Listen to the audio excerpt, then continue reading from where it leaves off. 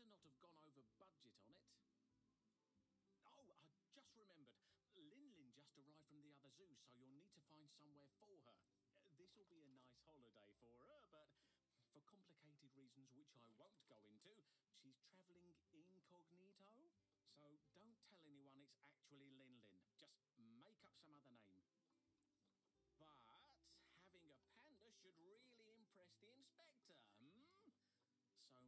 Sure nothing happens to her.